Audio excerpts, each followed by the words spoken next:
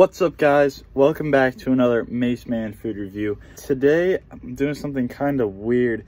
I don't know if you guys heard about them, but uh, fried Twinkies. Here is a look at them. Let me see here. So I did one in our air fryer, which would be this one right here. Hello.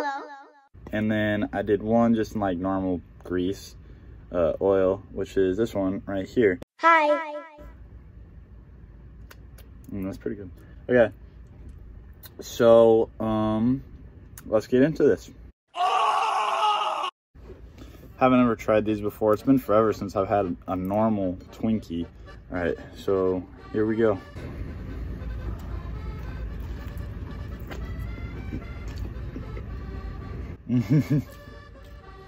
Not bad.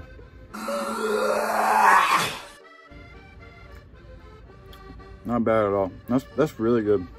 Very crunchy. It's really nice. But then you get down to it and you come through like all the like the cake layers. And then when you get to the frosting part in the middle, that's where the magic's at, guys. That's really good. It's just like it's nice and warm and sweet. It's just it's just really good.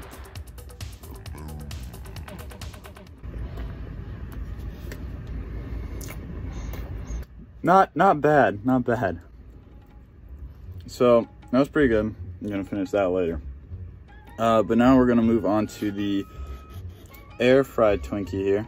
Now this one kind of had a oopsie, and you can tell this one's a little a lot more pale than the normal fried one. So we'll just have to see how this one tastes.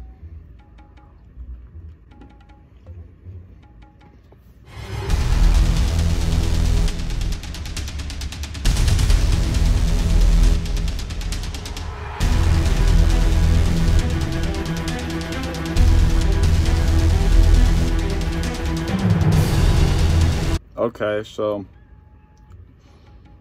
that's a lot different. It's like very, it's very tough. Mm. I don't, I haven't tasted really any cream in this one. Yeah, it tastes, it doesn't taste the best. Yeah, and there's no cream. Like, nothing. And then on this one, you got the good stuff. Definitely something I'd try again, the normally fried one.